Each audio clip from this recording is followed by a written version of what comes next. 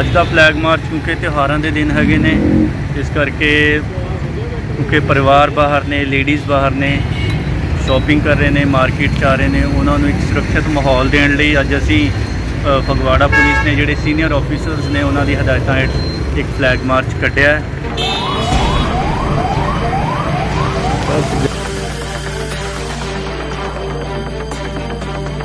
ਤੇ ਜਿਹੜੇ ਮਾੜੇ ਅਨਸਰ ਹੈਗੇ ਨੇ ਸਾਡਾ ਮਕਸਦ ਉਹੀ ਹੈਗਾ ਕਿ ਉਹਨਾਂ ਨੂੰ ਨੱਥ ਪਾਈ ਜਾਵੇ ਤੇ ਉਹਨਾਂ ਦੇ ਉੱਤੇ ਇੱਕ ਡੈਟੋਨੇਟਿਵ ਫੈਕਟਰ ਤਿਉਹਾਰਾਂ ਨੂੰ ਮੁੱਖ ਰੱਖਦਿਆਂ ਫਗਵਾੜਾ ਪੁਲਿਸ ਨੇ ਸ਼ਹਿਰ ਵਿੱਚ ਫਲੈਂਗ ਮਾਰਚ ਕੱਢਿਆ। ਫਲੈਂਗ ਮਾਰਚ ਸ਼ਹਿਰ ਦੇ ਵੱਖੋ-ਵੱਖ ਥਾਵਾਂ ਅਤੇ ਮੇਨ ਬਾਜ਼ਾਰ ਦੇ ਚੁਰਾਹਿਆਂ ਤੋਂ ਹੁੰਦਾ ਹੋਇਆ ਆਪਣੀ ਮੰਜ਼ਿਲ ਤੇ ਪਹੁੰਚਿਆ।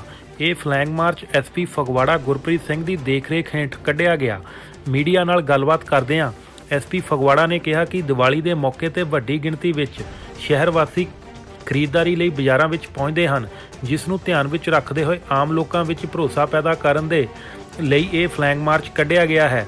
ਉਹਨਾਂ ਕਿਹਾ ਕਿ ਇਹਨਾਂ ਦਿਨਾਂ ਵਿੱਚ ਬਾਜ਼ਾਰ ਵਿੱਚ ਹੋਰ ਦਿਨਾਂ ਦੇ ਮੁਕਾਬਲੇ ਗਾਹਕਾਂ ਦੀ ਜ਼ਿਆਦਾ ਭੀੜ ਹੁੰਦੀ ਹੈ, ਜਿਸ ਦਾ ਫਾਇਦਾ ਉਠਾਉਣ ਲਈ ਸ਼ਰਾਰਤੀ ਅਨਸਰ ਤਿਆਰ ਰਹਿੰਦੇ ਹਨ। ਤਾਂ ਜੋ ਅਜਿਹੀਆਂ ਘਟਨਾਵਾਂ ਨੂੰ ਰੋਕਣ ਅਤੇ ਲੋਕਾਂ ਦੀ ਸੁਰੱਖਿਆ ਨੂੰ ਯਕੀਨੀ ਬਣਾਉਣ ਦੇ ਉਦੇਸ਼ ਨਾਲ ਇਹ ਫਲੈਗ ਮਾਰਚ ਕੱਢਿਆ ਗਿਆ।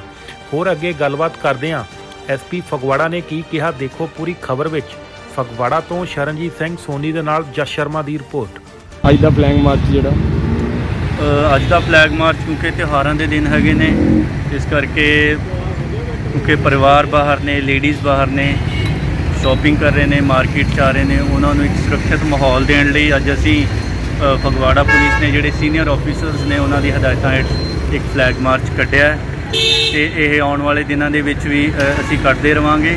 ਤੇ ਜਿਹੜੇ ਮਾੜੇ ਅਨਸਰ ਹੈਗੇ ਨੇ ਸਾਡਾ ਮਕਸਦ ਉਹੀ ਹੈਗਾ ਕਿ ਉਹਨਾਂ ਨੂੰ ਨੱਥ ਪਾਈ ਜਾਵੇ ਤੇ ਉਹਨਾਂ ਦੇ ਉੱਤੇ ਇੱਕ ਡੈਟੋਨੇਟਿਵ ਫੈਕਟਰ ਸਰ ਫਿਰ ਪੁਲਿਸ ਦਾ ਕਿੱਦਾਂ ਪ੍ਰਬੰਧ ਆਪਾਂ ਦੇਖਦੇ ਹਾਂ ਮੁੱਦੇ ਨਜ਼ਰ ਬਿਲਕੁਲ ਜੀ। ਸਾਡੇ ਪ੍ਰੋਪਰ ਨਾਕਾਬੰਦੀ ਕੀਤੀ ਹੋਈ ਹੈ ਜੀ।